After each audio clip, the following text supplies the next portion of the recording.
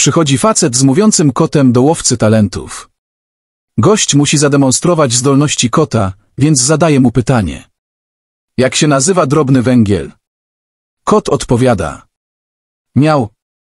Potem facet pyta. Jaka jest forma czasu przeszłego czasownika mieć? Kot znowu odpowiada. Miał. Łowca talentów wyrzuca oszusta na ulicę. Na ulicy kot wstaje, otrzepuje się i mówi. Może mówiłem niewyraźnie?